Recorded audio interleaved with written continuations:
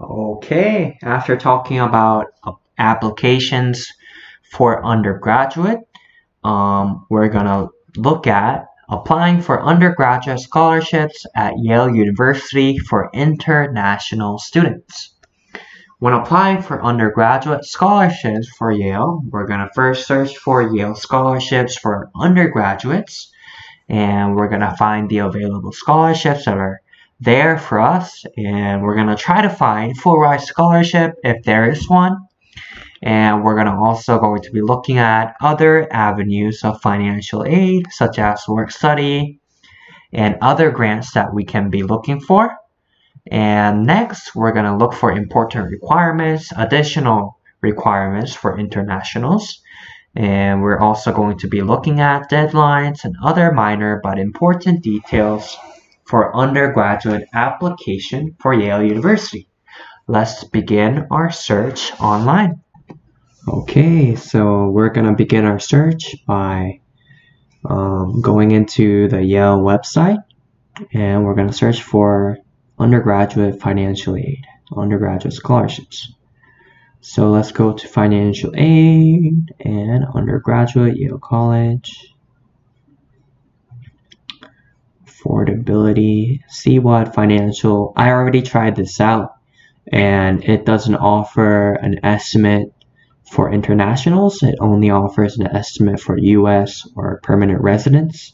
So we're going to skip that process. Um, and we're going to go through cost and affordability. Let's just say cost. Estimated cost of attendance. Um, about $73,000. It might be different for internationals. So, okay. Oh, some of the text tax for international students. Kind of weird, but I guess it is expected. Um, estimated cost of attendance was about $73,000. Now after seeing that, um, let's just see types of aid and other financial resources. Okay, scholarship bank grants are often referred as a, to as a gift aid because they do not need to be repaid. Three ways, three categories of Yale Financial Aid Award are Yale Scholarship, awarded solely on financial need, so it doesn't differentiate between international students or US and resident students.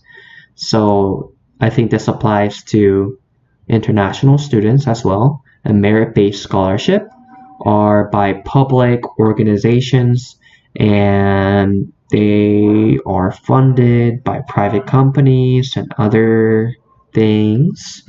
Um, and it can see that Merit Scholarship merit dues replace the student effort component of the Yale Financial Aid Award. Um, entitlement grants, I guess this is probably a federal grant, and I think this does not apply for international students. Um, this is work study jobs that you can do as an international. Um, after looking at that, let's let's go for applying for aid. Let's go to prospective and new students. Um,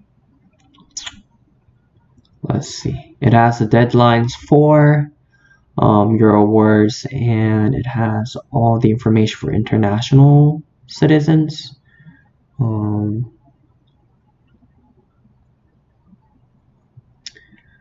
okay. Please note the deadlines listed above. Related documents may be required based on your family circumstance. So, um, in order to apply, it has CSS profile,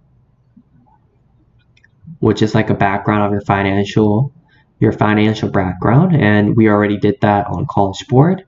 Um, and tax returns to parents and students, um, even for international students, I guess.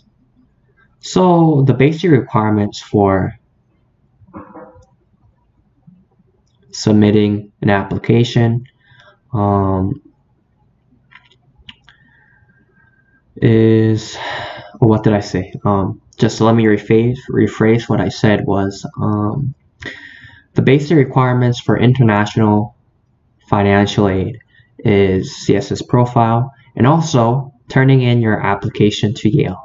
So in order to receive a provisional financial aid decision with your admissions decision, you must submit all of the listed application materials according to the following deadline. So this is QuestBridge. It doesn't mean common application. So for common application, we're going to look at early action regular decision.